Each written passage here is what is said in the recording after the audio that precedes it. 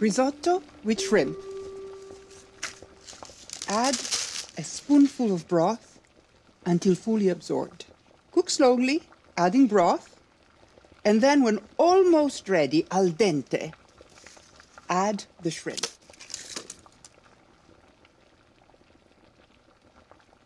If I were a shrimp, I would be a male when young, but with age,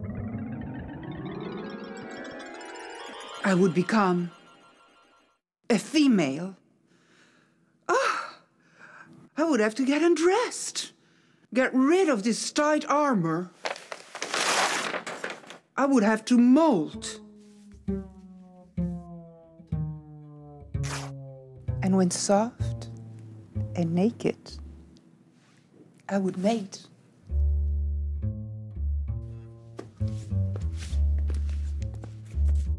Ah. Mm. Ah. I would hold my eggs tightly to protect them. Ah!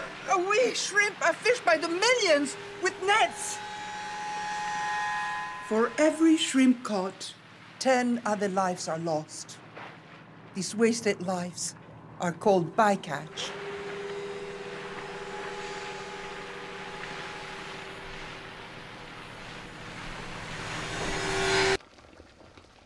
I lost my appetite. What to do? Ask, ask, ask biologist Claudio Campagna.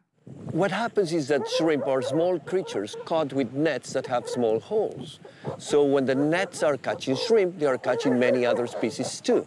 And these species do not have commercial value, so are being thrown away. The solution might be to cultivate shrimp, but in order to do that, you have to go to environments that are very sensitive, very vulnerable.